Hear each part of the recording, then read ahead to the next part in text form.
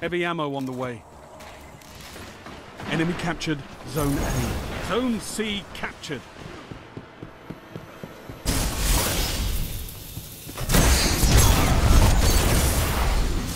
Heavy ammo available.